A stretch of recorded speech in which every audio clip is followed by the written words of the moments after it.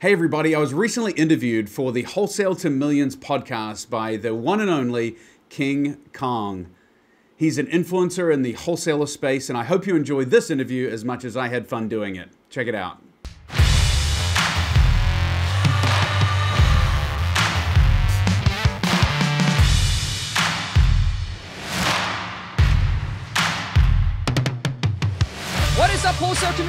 Today, I got a very, very special guest. He's one of the guy that I look up to um, at my real estate mastermind called Collective Genius. He's one of the, I would say, a stone cold killer hustler. One of the biggest player at CG. Um, but let, let me give him a proper introduction. Uh, introductions. He's the CEO of SBD Housing Solutions has raised over 10 millions to invest in multifamily. He has flipped over 1,600 home all across the US of A. And he has a property management company that currently manage over 650 rentals. You guys, so please put your thumbs together and help me welcome my man, Marck. What's going on, Marck?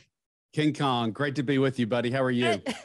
Dude, Marck, thank you so much for taking time um, to jump on to do this with me, man. But I'm super pumped. I'm super excited um, just to know even more about you, man, because, uh, you know, just at CG, we're just so like you know, everyone is just trying to, you know, do so much.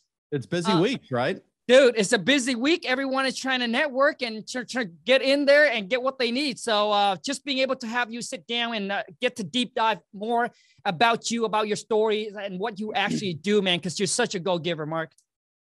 Man, I appreciate it. You know, you and you and I come from uh, similar backgrounds. We both immigrated to the U.S. and are living that American dream, brother. Dang. So, Marck, what what? Uh, so where are you originally from?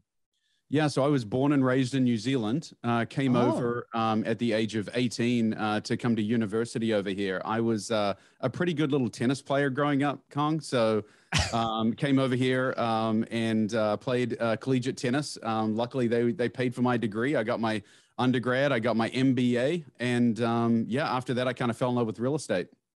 Wow, man! So now, Marck, uh, if you can take us back to the journey of how it was when you uh, like do you start out working for somebody and then become an entrepreneur or Man, I'm the anomaly, Khang. I'm the guy that actually um, just I was getting my MBA and uh, flipped a house um, and accidentally kind of made made some money. And uh, and I'm like, man, I don't want to go work for somebody else. I'm I was just young enough and dumb enough to think I'm going to go, uh, you know, try and do this myself. And so I took a course on how to buy. Again, you got to pay for edu- the right education, right? Mm. You know that. Mm-hmm. So I mm-hmm. paid five thousand dollars to go down and learn how to buy foreclosures on the courthouse steps. And so from 2001 through 2017, man, I bought about 1,500 homes on the courthouse steps that way. So, dang. Now, Marck, back in 2021 is when you got into real estate. That's right. Yeah, 2001, I flipped my first house uh, right after September 11th. Actually, uh, kind of hit. You know how that that'll uh, put a halt to an advertising deal that I had going on. Uh, we were kind of working in the airline advertising business, and so that got put on hold with September 11th. Um, and we were kind of reeling from that. But I'd flipped that house, and I thought, you know what? Let's go and see if we can make a go of this. And ever since then, I've been just slowly flipping houses um, throughout the Kansas City and, and the Midwest. Nice, man. Because the reason I point that out, Marck, because back in 2001, five thousand in five thousand dollar back in 2001 is worth what, like 10 or 15 G's nowadays. Yeah. Oh, totally. And it was, um, you know, something that I didn't even have money at the time, dude. This is not, you know, we talk about five grand now, no big right. deal. But um, at the time, it was a lot of money. We didn't have the money. I just put on a credit card. I wanted to make sure that I had the ability to, um, you know, to to take care of my family. Um, and so I I bet on myself. I bet on nice. going in and um, you know, getting down, getting the education so that I would do things the right way. I did know that mm. I'd read Rich Dad Poor Dad, and yep. I wanted to do it the right way. And so, you know, my thing was I wanted to make sure that I did things the right way and didn't get in over, you know, kind of get in ahead of myself. Gotcha. Oh, I lost Marck. So uh, we're going to wait for Marck to get back on here. But I think a lot of people that got into real estate um, have came across or read Rich Dad Poor Dad. If you haven't, if you have never read that book, I highly suggest that you, you should go check it out. Now, you know your boy King Khang. I'm not so much of a reader. Um, so I do listen to a lot of audiobooks and I watch a lot of YouTube channel. Um, that's kind of how I educate myself. Um, but listen, we all learn in different ways. Some of us are visual learners. Some of us are like to listen to audios or read books. Um, but you know, it's, it's all different. So that's why I always tell people that, you know, don't, don't compare your success or um, your, your progress level with someone else's because we all learn differently. Some of us learn a little bit slower. Some of us learn a little bit faster. Marck, welcome back, bro. Sorry, dude. I uh, we hit some some some bad connection there or something. I'm back. Yeah, you're back, dude. That's all that matters. Rid me that easily. no problem. So, Marck, how? So when you so so let's walk the people through how um how was it when you flipped your first house? Like how long did it took you? Kind of all that, man. Yeah, I um, I was lucky. I actually got a referral from a builder um, because you know sometimes it's not a. The first one was not a courthouse steps house. Um, the first one was um, one that I got referred to from a builder friend of mine who took one in on trade. Mm. And so builders are not flippers; they just want to sell their house. So they took one in on trade, a new home builder, and said, mm. "Hey, do you want to flip this house?" So I it took me about three months. Um, you know, I kind of went in and did some of the work myself. Kind of figured out that that wasn't something I wanted to do. um, but then my next one was was uh, much quicker, right? Like I went in, I bought something on the courthouse steps. I actually bought a duplex, moved oh. into that duplex. I rehabbed it and moved in with my wife, uh, which is a great strategy, actually, Khang. If you can buy a duplex, you move into one half side and rent out the other, you know, and Smart. then your your tenant's going to pay for your mortgage. So we lived there for a couple of years, and then you know, we never sold it. That house is still actually a part of our portfolio. Wow. So uh, now, how much do you bought that property, uh, Marck? For? We bought that for thirty-three thousand dollars, and I still own it today. So we bought it for thirty-three thousand dollars on the courthouse steps. Um, probably put about seven or eight grand into it because I did the work myself. It was like yep. paint, carpet, appliances, um, countertops, that kind of thing. Put an extra bathroom in the basement. But after that, it was um, yeah, we lived there for a short amount of time, and now it's probably you know that that duplex is worth somewhere around 140, 150,000. Dang. I mean, I think there's a saying that, you know, I get people ask all the time, Marck. It's like, hey, when is a good time to buy real estate, especially now that the market is hot? Everybody asks, so when is it a good time to buy? And I always say, you know, there's a saying that you buy real estate and you wait. You don't wait to buy real estate because over time it appreciates. 100%. And I understand that everyone has to make money. So if there's mm. full-time wholesalers out there, like, hey, that's great. That's a way to make money. Mm. But remember, for every two or three wholesale deals you do, you've got to start holding on to one as well. And that's one of the Smart. things I did at a very early age. So now I'm 20 years long in the tooth. I've, i am now 44 years old. I started when I was 24. So over the last 20 years, I've now accumulated, you know, hundreds of rental properties. But I did it because I just bought like I'd flip three and then I'd hold one. I'd flip Smart. three and then I'd hold one. So each year I was buying one or two or three houses, and then you gain momentum. You start holding on to more and more and more. Because again, hey, when you make money, Khang, Uncle Sam's there to take that Monet. You know what I mean? so if you make That's- money, it's the Uncle Sam's going to come and take 33 or 34 percent of that stuff. Yep. So if you can hold on, there's great benefit and depreciation uh, to help on tax returns when you are able to hold on to your real estate. Mark, I dude, I am so glad that you say that because you know when I first started too, I was I didn't know that, right? So because nobody told me, and uh, I wholesale everything. And at the end of the year, Uncle Sam came and said, "Hey, hey, King Khang," and he took a big chunk away. So a lot of you, you know, even realtors, right? Realtor wholesaler, we're out there. You yep. are selling houses, but you don't hold any, right? You don't buy or keep any. And um, you know, in the long, business. yeah, yeah, totally agree. I like to say, Khang, you don't get rich from what you earn, you get rich from what you own. Ooh, woo! The, the, more you own, the richer you get, dude. The rich are not those that are making money every year. The rich are those that own land, own real estate, and have cash flowing assets. And that's where you know true wealth is born. If you look at the the richest people in America, they all own land and assets. Damn, Marck, bomb being dropped already. Bomb being dropped already. So now, Marck, um, you know, we got a lot of people that are solopreneurs. So how did you merge from being a one man, you know, one man or one one man show into actually building a team?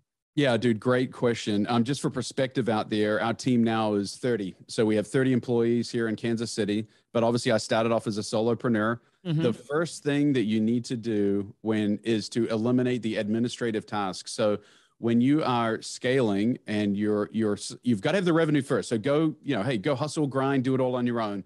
But then try and take the administrative tasks, whether that be a VA or an actual full-time personal and executive assistant. That's always the first way to go. from there, it's trying to eliminate the mundane or responsibilities that are pretty easy to do. For me, it was someone that was an acquisition guy on the courthouse steps, right? Because really, mm. when you're going to the courthouse steps, you know, it's not hard. Here's how you buy a house, Khang. You're like this going once, going twice. So you just put your hand up and you buy the house. So you give them a you give them a price, saying, "Hey, don't go above this price," and then go and stand there and put your hand up. So I mm. started having a guy go to the houses, do analysis, and and drive around. And so I had my acquisitions guy, and then I was kind of working on on selling the assets on the back end. And then you have a then you're doing enough volume, or okay, well now I have a dispositions. I'll have someone that's that's listing on and selling all of my houses because the other thing with that is you can actually get a realtor who is able to go say, hey, look, you be a realtor, go do all of your uh, regular transactions, but I will bring you, you know, let's say you're flipping 30 houses a year. Hey, I'll just pay you a thousand dollars a house. So it's kind of like a base salary of $30,000 for that person because you're going to give them everything, right? So you're going to give them 30 houses a year, $30,000, which is a good base salary for them. And you give them the volume and they get, um, you get the discount from uh, working with a realtor. So again, as you scale and grow, whether that's 1% or $1,000, I mean, it depends on everyone's market. Obviously in California, $1,000 is nothing when you're selling something for, for 400 grand. But in Kansas City, it would be quite often we'd be selling something for, you know, 100 to 150 grand. So it'd be like, hey, 1% here. And then you get to list the properties and get 3% on the back end or something wow. like that. So you, you just start growing and, and, and scaling and networking. But here's the next step, Khang. So one trick uh, or one thing that will trip you up is thinking that the people that get you from here from step A to step B will also be the ones that get you from step B to step C. And that's one mistake that I made. And we actually presented, you probably in the room when I did the big presentation on the stage in CG talking about hiring a COO. Mm. One of the big steps that, or the missteps I made along the way was thinking, not realizing that some of the people that would help me along the way were not the same people that would get me to that next level. And mm. you just have to be honest and fair with them. And, and I think, sometimes they self-select out. They just can't handle that that extra pace but sometimes you have to make that tough call and let them go. Wow. Wow. Now man so mark people always want like like you've shared so much but i know there's someone that's going to ask so mark when when do i know that i'm ready to start hiring on people? Like when do you actually know? Yeah i think it's i think it's top line revenue based, right? I think mm. top line revenue and then also your net. I mean, you, you get to the point where you are losing money because you can't expand and scale and do more deals because you are your own constraint. When you become like a funnel where your business can't grow because you're the bottleneck and you can't get to the deals, let's say you've got five appointments to go on. Yeah, I can't get to them all today. I just lost that on that deal. You know, your common sense says, man, I'm doing all these administrative tasks and I'm, I've got to be home by you know a decent hour, five or six o'clock, because I want to spend time with my family, mm. and so I can't get to all of them during the day. That would be the time that you would um, take it to the next level and start hiring someone to just relieve. So the first step, when I said a VA or an EA, you've got to relieve the administrative duties to maximize your own potential. But once your own potential and your own time is to the point where you are no longer able to keep up with the volume, then you go to the next and, and hire someone that can actually help you operationally. Wow. Wow. Now, Marck, my other questions to you would be um, when you first started out, man, like, ha- like how many hours are you grinding a day?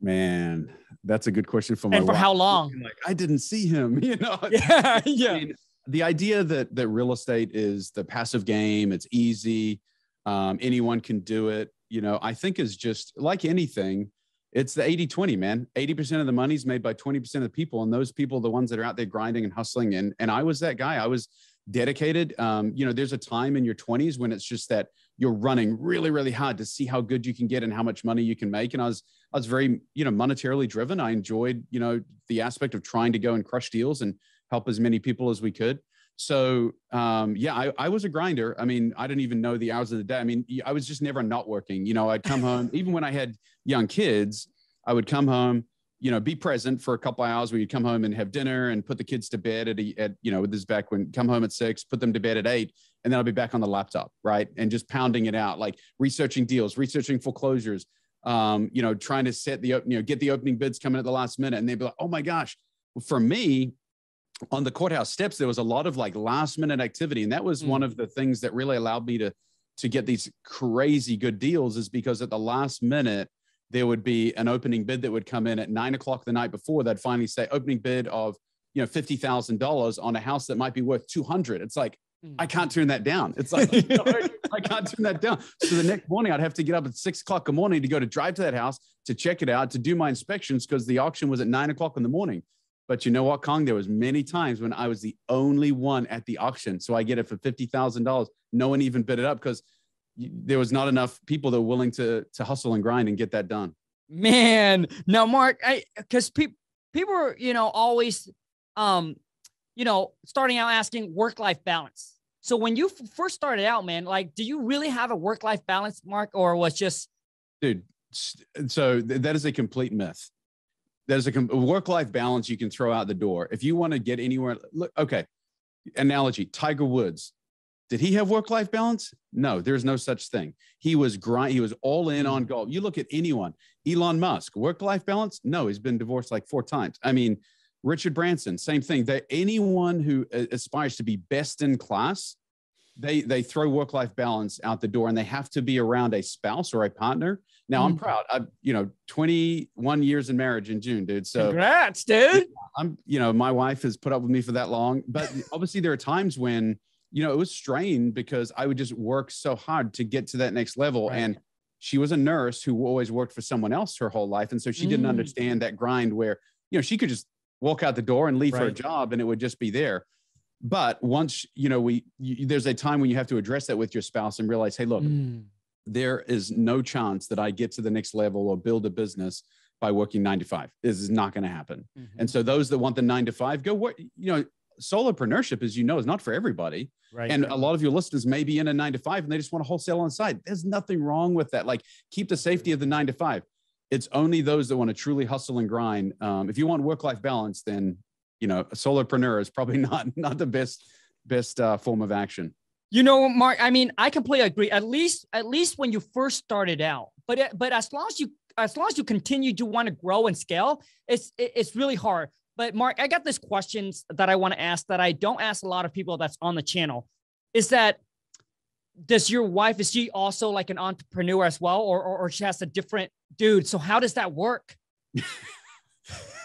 she trusts me. I, as, ah. as, at the end of the day, Khang, she trusts me. Um, and I don't mean this derogatorily because we've talked about it, but she has complete trust in Marck. You take care of all the finances, you make all the decisions um, you know, about what we buy, what we sell. I mean, she's just at peace. Now, there was a hmm. time. Mm.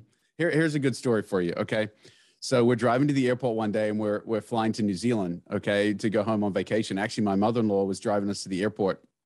Luckily, she was in the car with me because it kind of is, you'll see why here. I get a call from a buddy down in Florida, and I'm like, "Hello."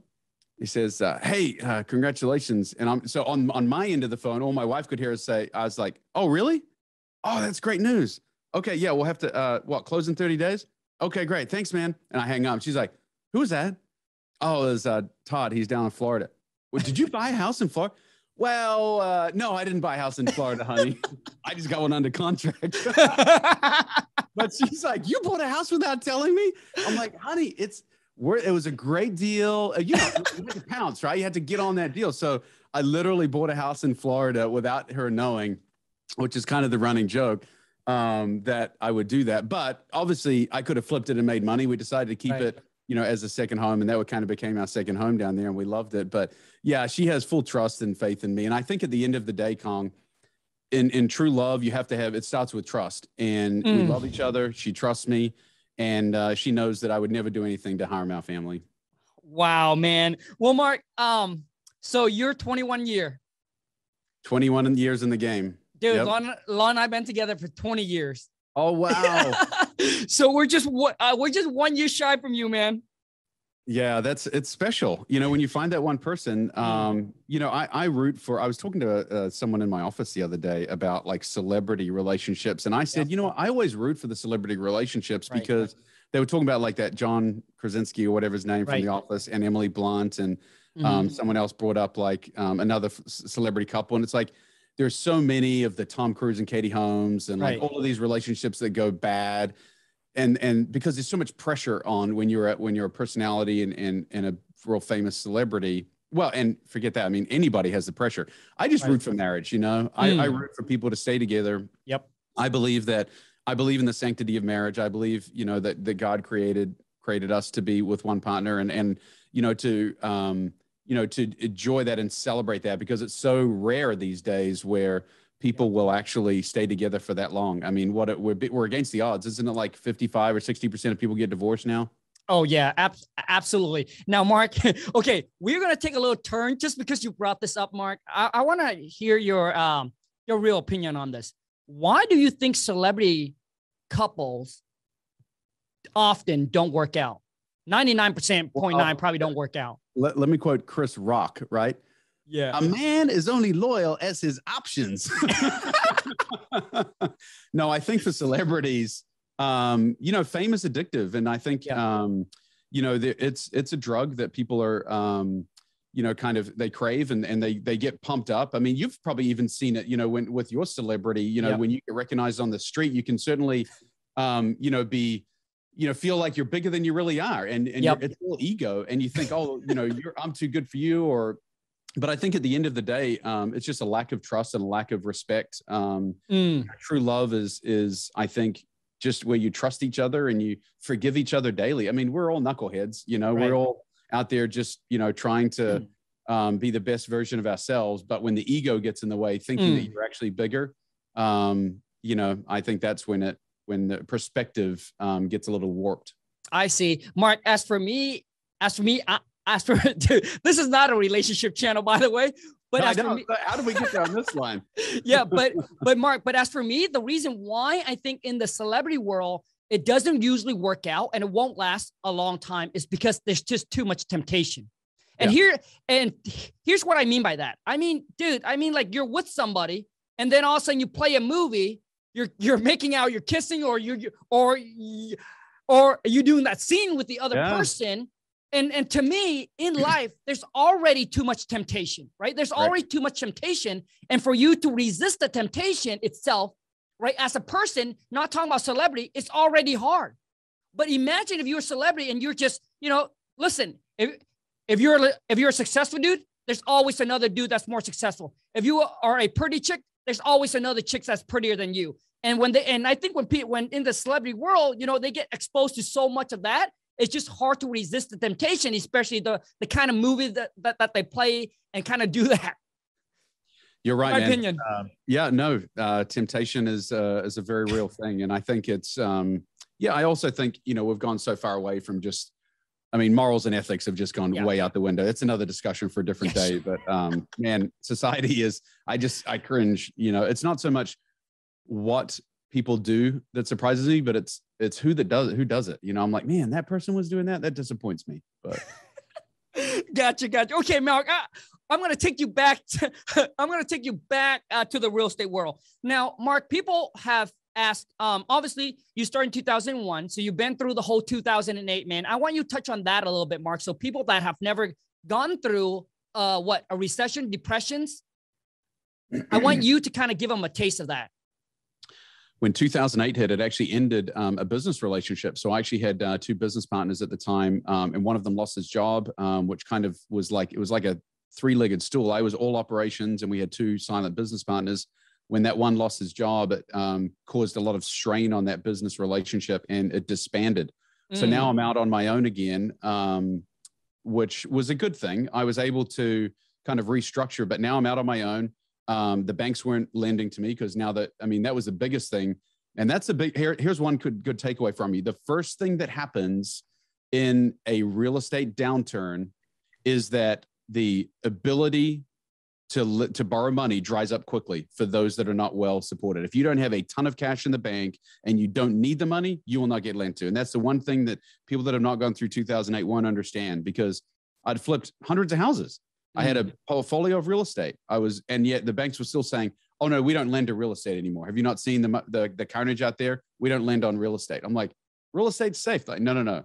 so it just it doesn't allow you to scale at the same rate. So again, wholesalers, I get it. They're they're the middlemen, but those that are it will impact the wholesale community because their buyers will go away. Yep. You know, I mean, there will the, the just the whole market will shrink and contract. So beware the first thing to go is the ability to borrow money when the market crashes but I pivoted and actually, so because of that, I started using other people's money. So mm. I would do turnkeys, but active turnkeys. So for those listening that don't know what turnkey is, a turnkey operation is just where you the the operator does everything on behalf of the investor. So I had um, pivoted to working with people internationally. So I had people from Australia, New Zealand, the UK, Hong Kong, Brazil, China, all this foreign wow. money coming in trying to buy up assets in America through my company. And I would, they wouldn't even come to the country. I would just buy a house full with their money, rehab it with their money, get it rented out, and then manage it.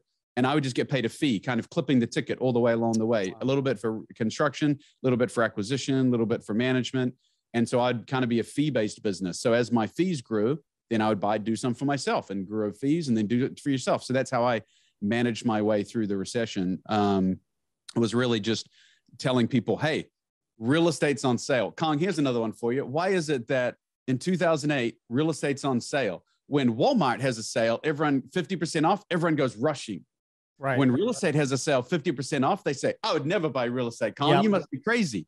It doesn't make sense to me. So I saw that opportunity. And that's another Warren Buffett line, right? Where he says, when there's blood in the streets, start mm. buying. So that's that's one thing I think uh, I was wise enough to know that it was a greatest opportunity of my lifetime was to be able to be around in 2008 and buy as much as I could. So I, again, I had to make money. So I would, you know, I would basically be a turnkey provider, kind of like wholesalers. You know, I was just making fees, but then I'd take that and start investing in real estate, live on way less than what I was earning. Just really, really, uh, th- I was my first apartment. I was, we were only paying like 500 bucks a month for the rent, you know? So um, it was nothing and we'd live on less than we needed. And just, I was owning more than the landlord that I was renting from. You know? but that's just the way that I kind of started clawing back into the game. Man, dude, back in 2008, um, I know a lot of people. I uh, even one of uh, one of Lon's brother has to go through that, and I think he has to file bankruptcy because of 2008 and the way it hits. Now, Marck, how how can someone, especially people who fix and flip, and if you fix and flip on a high volume, how can they protect themselves in case if there is another crash? Yeah, so I think at the end of the day, don't over leverage yourself. Mm. Um, don't over leverage yourself on the asset. So, you know, hard money lenders are extremely um, dangerous, and they are the snake that is always going to come back and bite you if you're not um, well maintained. Um, so, have some private money lenders um, that were that are in the game with you. So try you know, if I'm a fix and flipper that is using hard money and has no reserves, I would be super leery. Um, hard money is prevalent these days. Everyone is using it. Everyone is using hard money because there's always an exit. Yep. But you know, a lot of smart investors out there would use a 10 10 20 20 stress test. So, oh. so okay, let me talk to 10 10 20 20. So, Khang, what if my cost of construction went up by 10% and the after repair value or my sales price went down by 10%, would the property still be able to be sold? What happens if my cost of construction, my rehab expenses went up by 20% and the sales price came down by 20%? That would be extreme, but would I still be able to make money? So doing some, you know, the pencil doesn't lie. Put the pencil down, um, start writing and stress testing your assets to make sure that they would stand um, even if you had a 10% correction. Wow. So now, Marck, as far as in reserve goes, because I get people that say, "Hey, Khang, you know what, dude? It, it, it's stupid to put money in the in the bank because it depreciates, dude. Your bank account should always be empty, dude. Always be, always get that money working because Uncle G said that. Hey, I took all my money, dude, because people don't understand that you got to have reserve. The more real estate you own, the more reserve you have to get to have. So, Marck, let me ask you, Marck, how much reserve should you have when you are fixing flipping property or, or owning property? Yeah. So when okay, let me start with owning. So for every rental property that you own, you should have three thousand dollars in reserves, in my opinion. So if you own ten rental property, you should hmm. have. Mm. It, it, well, and I say that once you get to ten, you can kind of cap it. If I have fifteen grand in a bank account, you know normally the rents are coming in and you're cash flowing. So once you get to at least you know 10 or 15 grand in a bank account that should be fine once you get to 10 properties but at least 3k per property property so for the first you know three or four properties make sure you're building that nest egg and if you're borrowing money from a friend to get started or seed capital remember that part of your seed capital, part of the operation should be to have some money set aside for that worst case scenario. Um, so borrow more than you need is what I'm saying, and pay a little bit more interest on the money just to have it sitting there in reserves. When you make that first wholesale check and you make 15 grand, stick five of it over here in that, and so that you can have the money ready to go when you're going to hold on to your first property. So when you're holding property, I would say at least 3K. Um, the other question on the fix and flip.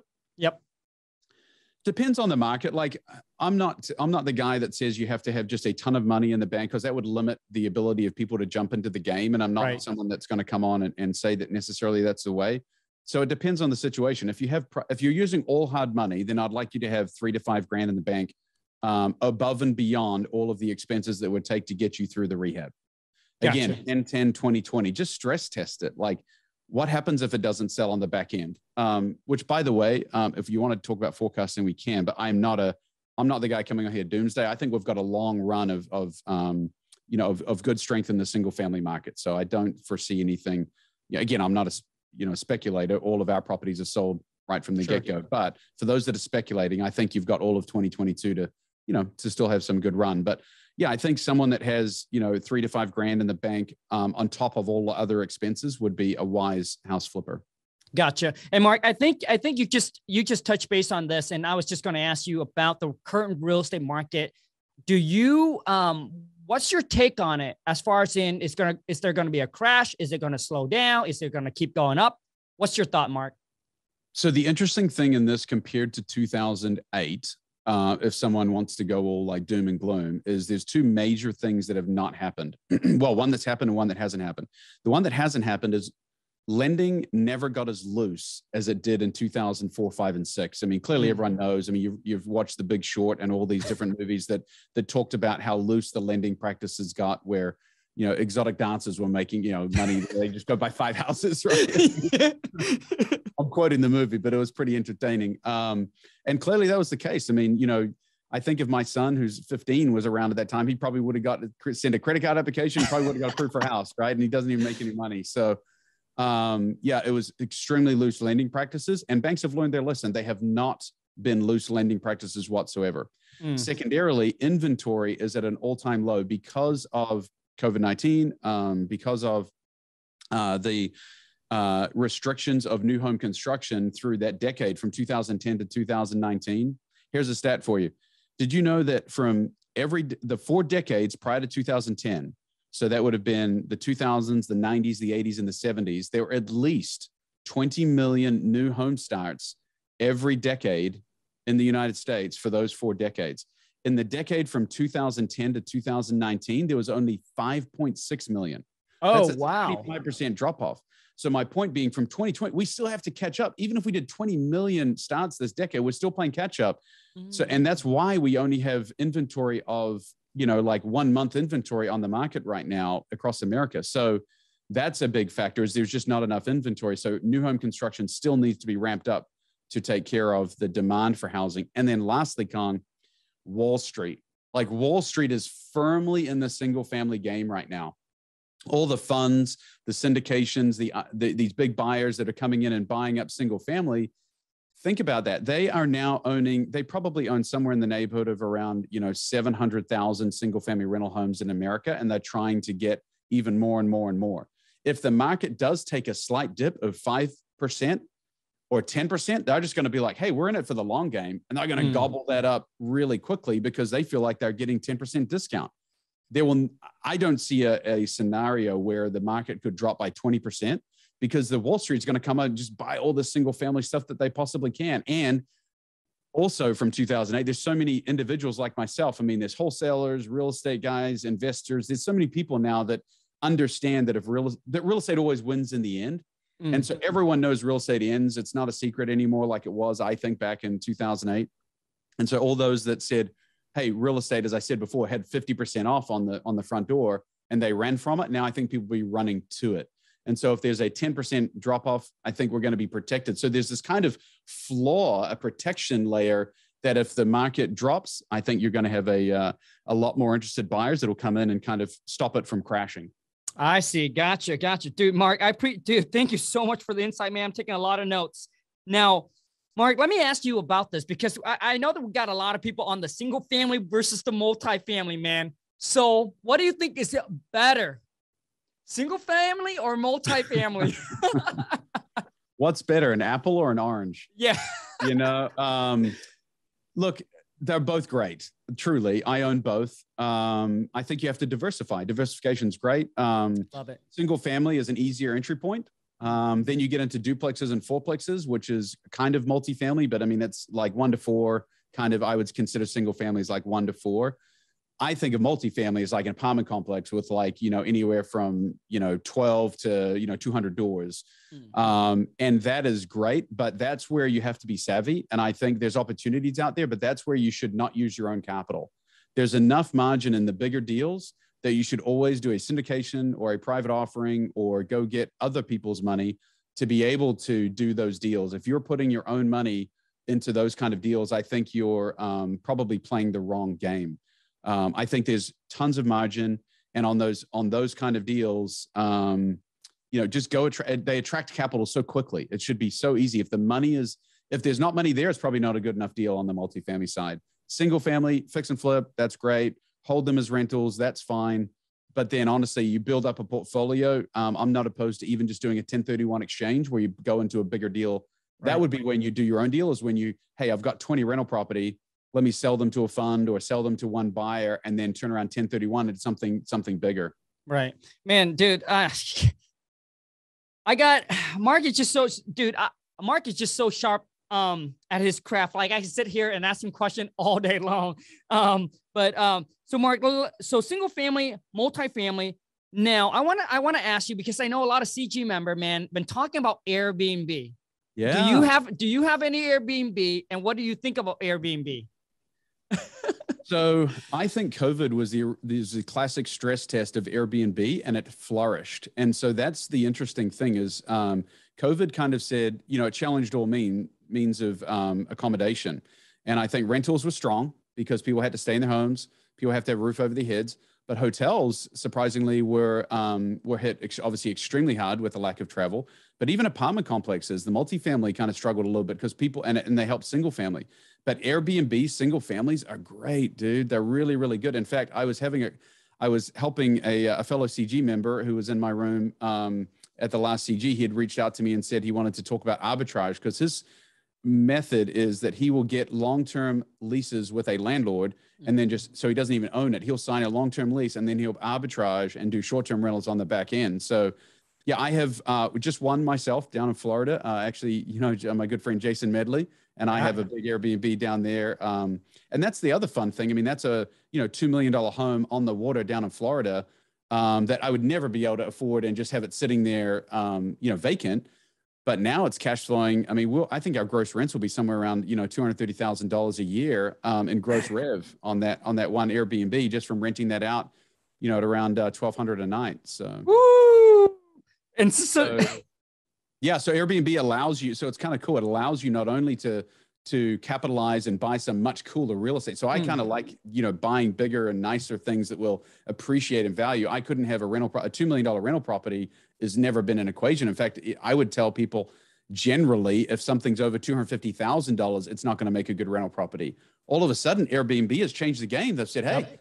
You, you can have a $2 million property, a $8 million property or anything. And it's, and it can be a successful rental property. So, dude it's it's uh it's changed the game and i'm a big believer. Dude marck i bro i'm so i'm I, i'm so glad that you say that. It's so the thing is like with airbnb it's just completely different uh with long-term rentals. Like you can make the number make sense right? So we just there's a property that just pop on the market in scottsdale uh, uh phoenix arizona and we overbid. We overbid it i think by like 40 g's. For regular people that's going to buy and live in it probably won't make sense. For people that yep. wants to buy in long term probably won't make sense. But guess what? It makes sense for us because we calculate and we're going to do airbnb on it. So the number just makes sense. Yeah there's a there's a facebook group out there that some of your listeners may want to go to. I think it's called airbnb homes for sale. And i'm a part of that group. And the interesting thing is like because i was looking at buying one in, in um, arizona in, in scottsdale and so there were some opportunities down there um, ended up bidding on one didn't get it but there's it's an interesting group because the people that don't know what they're doing, they'll come in and and they'll, they'll it's a so it's a way to sell like done for you Airbnbs. Yep. And so um, that group is is pretty powerful because they can come on there and, and a house that might normally retail for a million, they sell it for 1.2 because they generate enough income. It makes it a really good rental. And so they'll say, hey, this listing's 1.2. And you can tell the rookies because they're like, man, there's no comps on that. You know, it would only sell for a million. And it's like, hey, silly, silliness here. Keep in mind that it's generating some, you know, Yep. A, you're not going to live there. It's going to be a rental property. And B, the rental property is going to be 4x what you think it would be as a long-term rental because for short-term rentals, you can 4x the uh, the total top line revenue. Dude, totally agree. And uh, I, the wife, she posts on her Instagram stories, and uh, and people will be like, well, you know what? Who pay who pay eight hundred dollars a night? Well, who paid twelve hundred bucks a night? Your it's like your pocket is not deep enough. Doesn't mean other people don't have a deep pocket. Hundred percent. You'd be amazed how many people and you know, everyone wants. I think the idea of going to, um, like, I think it's almost the bigger the better now because if you uh, might, when I want Airbnb, I want at least a four bedroom home because mm. then you can charge, you know, north of a thousand dollars a night, and two yep. families are going to come in there or four couples, and they're going to split the cost. It's no big yep. deal. Yep, dude, I completely agree. And uh, um, I think uh, someone also asked, so Khang, I mean, aren't you nervous? Now, listen, man, because all, all, all you really need to break even, I mean, to be conservative, it, it's rented out for what 10 to 15 days right yeah. like not even that that means you break even everything yeah. will be covered right imagine just renting out for 500 bucks a night all right just for 10 nights that's what it's a proven concept it's kind of yeah. like uber back in the day like everyone's like oh i don't know we don't know these people it's like no no no now it's completely proven i would have no problem with my son just getting an uber and coming home uh, because you can track them and everything yep. like that everyone understands now Airbnb is a way of li- it has completely changed the game. It is a new asset class and is absolutely vi- the viability of it long term is here to stay. I think people enjoy and I enjoy staying in a home versus staying in a hotel when I'm traveling around the country. No, completely, completely agree. So now, Marck, um, as we're gonna wrap this up, man, could you share kind of like where you're doing your business at? Because I know you're in a couple different market. Where you, where you're doing your business at? Where you're buying? What are you looking to buy? And all of that. Dude, thank you. Um, we are in Kansas, Missouri, and Alabama. Um, currently, this year, we're on track to do somewhere in the neighborhood of around 350 to 400 deals. And um, you, the, here, hey, here's a cool stat for you because I know you have a, a, wholesale community that you appeal yeah. to. Um, dude, and you, your wholesale to millions is such a great channel. Oh, but dude, how about this? Last year, actually, for the last two years, we have paid out over a million dollars of assignment fees to wholesalers in our markets.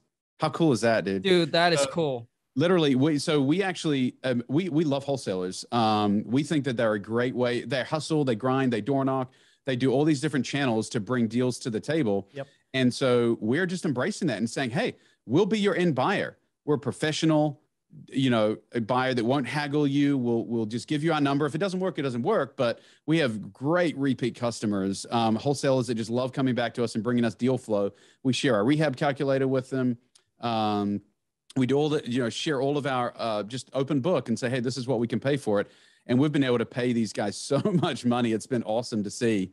Um, and so yeah kansas missouri and alabama is kind of our, our primary markets there.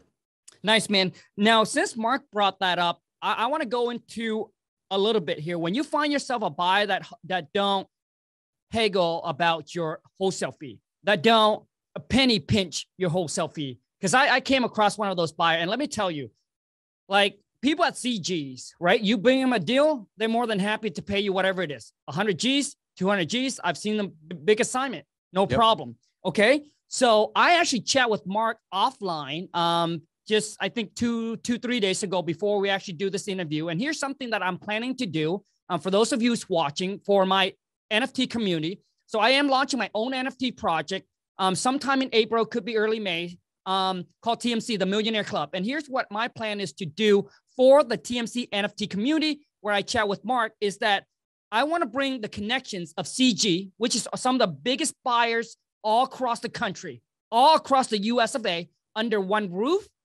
and then for those of you who's in the community, I'll share that multi-million dollar network with you. So you bring the deal and we'll match you up with the buyer. So Marck, let's just say you're, you you you have a deal in Kansas, boom, Marck is your buyer. And he doesn't buy one or two deals a year, baby. This guy, this guy does 300 something deals a year. I think the biggest mistake that a, that a rookie wholesaler can make, Khang, is they overinflate the ARV, they under, yep. you know, budget for the rehab, and they just try and force it upon a rehabber. It's like, dude, if you're wanting him to go broke, just take it easy. You know, you know, they know their numbers. Don't try and um, don't try and force it. Like, be realistic. And yep. the easier job is to just go back to the seller and tell the seller, hey, you're asking too much. You know, I mean, if it's not a deal, it's not a deal. There's enough deal. What we have found is that there's enough deal in there to pay the wholesaler a great fee for us to make some money on the back end and for the seller to be happy. And you just got to go find those deals. And that's and that's how you create a win, win, win, right, Marck?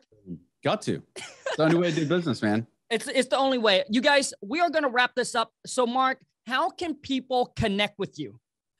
Man, I appreciate you asking. I have a real estate channel um, on YouTube, and YouTube would love. We're really pumping out some great content. I've got love a social it. media manager, Pete, uh, who's here with me today and we're really focused on educating the public. Um, again, I know you're more wholesale focused. Yep. We are, you know, real estate investor and uh, passive income and building a real estate portfolio. So people are nice. interested in building a real estate portfolio. It is mistake free real estate YouTube channel.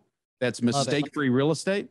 And uh, if you want to go to mistakefreerealestate.com, um, our podcast is there also, as well as my book, Mistake Free Real Estate. So yeah, we'd just love some followers there. Obviously, Instagram is a great way. Also at Marck de Lautour um, to uh, you know to to reach out as well. I'm sure you'll put that in the comments.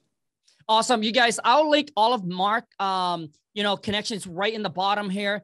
And uh, Marck is whatever he's on camera. This guy's super genuine, even in person, and he's such a go giver. So make sure you guys go and follow Marck. I mean, listen, he's been in the game for a long time. You know what he's doing. I'm sure he can certainly help you out moving through whatever it is, getting you you from where you are to where you need it to be. And I think every one of us are looking for that financial freedom. So, Marck, I appreciate it. Thank you so much for having you on, man. And I'll see you at the next CG. Thanks, Khang. Yep. Take care, Marck. So as Marck are uh, getting off, I want to get let you guys know that so Marck is just one uh one of out of what 200 something that are in or uh that's in my CG, my real estate mastermind um uh, event called Collective Genius. So imagine I bring 200 plus people under one roof right? All these are buyers or wholesaler, and they do massive volume every single month. So you bring, bring a deal, right? We'll link you up with the right CG member, boom, and get your deal sold. And that is something that I'm planning to do for uh, my TMC NFT project. That is one of the perks and the utilities that we're focused on doing. And I am going to um, you know, work with Marck on that, and, and we're going to make it so it, it flows. Uh, it, it just flow nice and easy. When you just got a deal, you post, we'll link you up and get it all done for you. So we'll do the other 50% of the work. So you want to find out more about my NFT project? Just go to my Discord. Also, too, is I'm open up my Discord channel uh, completely for free uh, for you to network. Just go to tmcnftproject.com. But anyways, I hope you enjoy this video because I know Marck dropped a ton of bomb. I hope you take notes. But until next time, you guys, take care and ciao.